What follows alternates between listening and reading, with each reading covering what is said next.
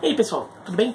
No começo da semana eu fiz um vídeo sobre o mercado da NBA, é, falando que o Brooklyn Nets tinha sido o grande vencedor aí do, dos primeiros dias da, da, da, janela de negociação com free agents. Nem foi uma análise de técnica, mas uma análise de mercado, até porque a parte técnica vai um pouquinho ali na minha especialidade, mas a parte de mercado já eu, eu tenho um pouco mais de conhecimento ali, um pouco, um pouco mais de segurança para falar. Mas eu tinha prometido naquele vídeo fazer um outro vídeo falando sobre por que os jogadores da NBA têm tanta tanto poder de negociação, tanto poder de barganha ali com, uh, na, em relação aos times, na comparação com, com outras ligas. Eu não estou nem falando só com futebol, não, porque futebol difere da NBA. Né, é, nos esportes americanos, nessa questão de venda de atletas, tem um vídeo aqui, vou colocar aqui no final, vai aparecer um vídeo aqui do lado explicando essa coisa, porque não tem venda, compra e venda de jogadores nos esportes americanos. Mas no, mas também na comparação com a Major League Baseball e com a, a NFL. A Major League Baseball paga salários muito altos, mas ah, é, os jogadores não têm o poder que eles conseguem ter na NBA de, por exemplo, eles combinarem entre eles de todos irem juntos para um determinado time fazendo uma panelinha, né, que, que a gente começa a chamar de panelinha, para transformar um determinado time num time campeão ou num time com potencial de ser campeão. Teve já caso com, com o LeBron, o Chris Bosh e o e o Dwayne Wade no Miami Heat, teve o, o, caso do Kevin Durant e depois o DeMarcus Cousins indo para o Golden State Warriors, o caso do DeMarcus Cousins não deu tão certo assim, né? E já, a gente já teve outros casos ali de jogadores se juntando ali para formar times supostamente campeões, né? Alguns deram bem errado, né? Como o Kobe Bryant, o Dwight Howard e o Steve Nash nos Lakers. De qualquer forma, eles conseguem fazer isso, coisa que é muito raro nas outras ligas. Mas por que os jogadores da NBA têm tanto poder de, de, de negociação? Bom, o, o, principal, o, o, principal motivo é que eles têm muito poder em quadra. Né? O, o, a capacidade de um jogador mudar o destino de um time eh, na, no basquete, na NBA, é muito maior do que nos outros esportes americanos. No caso do hockey no gelo, um jogador. Em todo esporte, um jogador muito bom melhora bastante o time. Tá? Mas assim, é óbvio isso. Senão, os jogadores dos times não iriam querer contratar bons jogadores. Mas no caso do hockey, por exemplo, os jogadores têm todo um rodízio ali, né? Tem, tem as linhas que vão se alternando no gelo. E então um jogador muito bom, ele nem fica tanto tempo assim no gelo, na verdade. Claro, ele muitas vezes é decisivo naquele pouco tempo que ele fica, mas, mas ele acaba nem mudando tanto. No caso da, da NFL, onde talvez um jogador que tenha esse poder é o quarterback. O quarterback, trocar um quarterback muito ruim por um quarterback muito bom, é, pode mudar o, o destino de um time assim de um ano para o outro.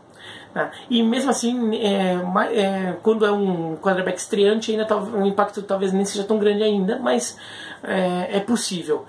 Mesmo assim, o resto do time tem que ser ajeitado. Né? A defesa tem que ser boa, por exemplo. O quarterback não atua em zero jogadas quando o time está defendendo. Na Major League Baseball, um arremessador é muito bom pode mudar o destino de um jogo, pode comandar todo um jogo. Só que ele só vai jogar um a cada cinco jogos, porque tem o esquema de rotação dos arremessadores. Um rebatedor, por melhor que ele seja, ele só vai rebater uma a cada nove vezes que o time for ao bastão. Então, um, a chance dele mudar realmente o destino de uma partida ou de um campeonato, diretamente, ele sozinho, é muito pequena. No basquete, não. No basquete pode acontecer, por exemplo, de um determinado jogador tá num dia bom, o resto do time tá ruim, passa a bola para mim, eu vou ficar tentar resolver. Nem sempre consegue, mas é, essa possibilidade, possibilidade é maior. Além disso, no, no basquete, o jogador tem muito poder na, no, no, no mercado porque o basquete, como eu já expliquei num outro vídeo aqui sobre quais são as ligas mais populares, vou também deixar aqui do lado aqui quais são as ligas, eh, os esportes mais populares dos Estados Unidos. No basquete, a audiência vai muito atrás das estrelas. É claro que o jogador, o torcedor sempre torce para o seu time, mas quando ele não está vendo o jogo do seu time, no caso do basquete, ele vê muito jogos, o jogo das estrelas, ele vai atrás das estrelas. Ele não, não tá necessariamente querendo ver um, um, um time muito bem montado, ele está querendo ver uma estrela ali, porque criam histórias, né? Então as rivalidades, ele então está tá querendo ver um show de desempenho individual ali do, do Steve Curry, do Russell Westbrook, do LeBron James, quem quer que seja. É, então, os times que têm muitas estrelas, eles acabam tendo muita, uma força de mercado muito grande. Eles acabam vendendo muito produto, eles acabam tendo audiência de TV mais alta, eles acabam atraindo mais patrocinadores, eles acabam tendo várias outras vantagens. É, em relação a, a, times que às vezes podem ser, até ser muito bons, mas não tem nenhuma estrela de destaque. Né? Então, assim, por exemplo, um time como o Utah Jazz, vai, que tem Donovan Mitchell ali, mas não é uma super estrela ali. Né? Então, um time muito bem montado, um time que pode fazer uma ótima campanha, mas não é um time que, que é midiático como os Lakers vão ser. Se, se, os Lakers forem um pouquinho competitivos, vão acabar chamando mais atenção. Por quê? Porque tem o LeBron, porque é de Los Angeles, porque tem o Anthony Davis, essas coisas todas.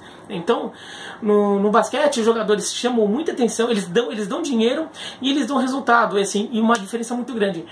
Por isso, os times sabem que ter uma estrela dessa vai mudar o destino dele é, e por isso eles apostam nisso né? então os times muitas vezes eles não ligam de ter um, um elenco bem meia boca mas se conseguir botar três caras assim do, do topo ali da, do, do ranking dos melhores da NBA, o time vai ser competitivo. Ou tem grande potencial de ser competitivo. Claro que não é uma fórmula perfeita. É, o Los Angeles Lakers não, com o LeBron não foi aos playoffs no ano passado. O New York Knicks já teve momentos que tentou montar um time lá com estrelas, Carmelo Anthony e tudo, e não funcionou. Mas, em geral, funciona em geral, é, não para ser campeão, mas pelo menos para elevar o nível do time para chegar a fazer um time de fundo de tabela, virar um time de playoff. É, então os times sabem disso. Então os times guardam dinheiro, eles sabem que precisam ter um, uma. E agora, antigamente uma estrela já servia, agora nem isso, né? Agora tem que ter duas, três.